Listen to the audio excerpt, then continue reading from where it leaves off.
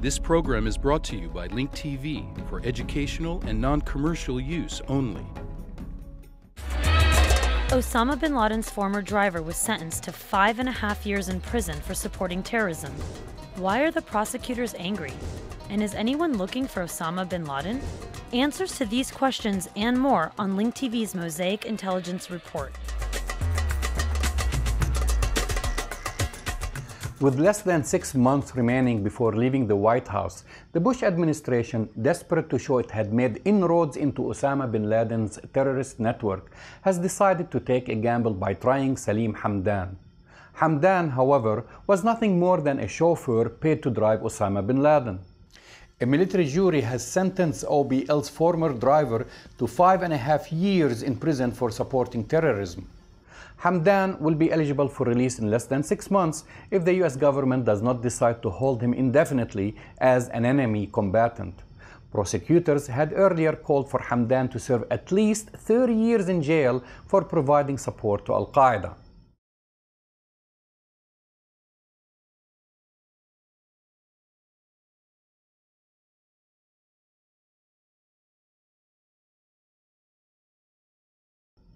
At the time of his arrest, Osama bin Laden's driver was clearly a highly prized intelligence asset who possessed invaluable information about the movements and perhaps the whereabouts of bin Laden and other senior Al Qaeda members.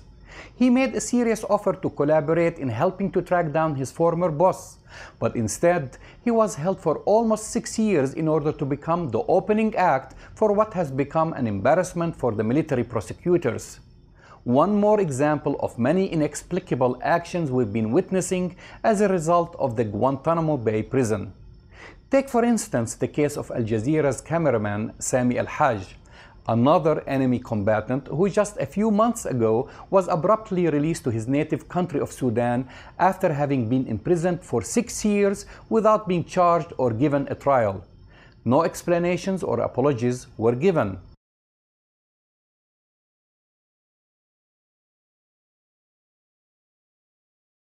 We also recently witnessed a 16 years old Canadian prisoner weeping in an interrogation video, the first public look at such interviews taking place at the US prison camp at Guantanamo Bay, Cuba. His lawyers accused the United States military of mistreatment of a minor.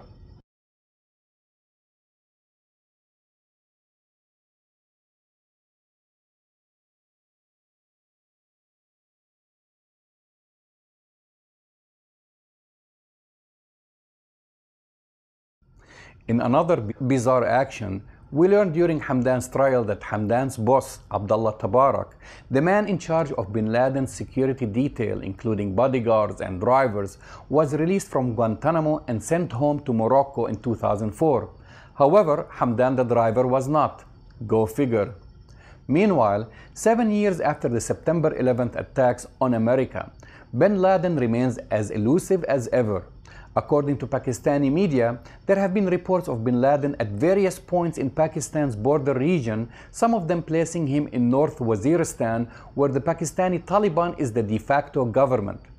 Perhaps these are just reports, or maybe President Bush has forgotten his promise to find and apprehend bin Laden, dead or alive, or perhaps he thinks a driver for bin Laden would suffice. I'm Jamal Dajani for the Mosaic Intelligence Report. To learn more about this program or to share your thoughts, visit us at linktv.org slash mosaic.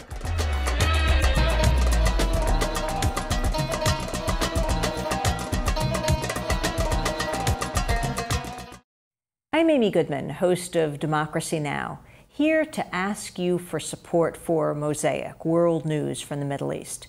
You know, in media news, a new study shows that corporate news coverage of the Iraq War has dropped sharply in the last four months. According to the Project for Excellence in Journalism, the Iraq War accounted for just 15% of news coverage, 19% of the network evening newscasts. We need more coverage of the Middle East, not less. We are talking right now about living in a time of war. And it is up to us in a democratic society to decide what to do about that. Mosaic provides information from the Middle East, from countries in the Middle East, from a Middle Eastern perspective. It is invaluable. And right now, they need $200,000 to continue their work, to continue their coverage, to bring you their fall lineup of this essential program. The number to call to make your pledge is 866 485 8848. That's 866 485 8848. You can also pledge online at linktv.org. Please pledge as much as you can. Information is power. When you have information, you are empowered to do something about it. That's what Mosaic provides. Again, they're trying to raise $200,000. In order to do this, you can be a small or large part of that. Pledge 25, pledge 50, pledge 200, pledge 500. Mosaic needs you. If you've needed Mosaic for information, now they're asking you to help them reach their goal. That number again is 866 485 8848. That's 866 485 8848. Make your pledge, make it now. You can also pledge online at linktv.org. That number is the lifeline for Mosaic 866 485 8848. Make the call that makes the difference. This is viewer sponsored media. You are the engine of this program. Mosaic provides a unique perspective from many different countries in the Middle East.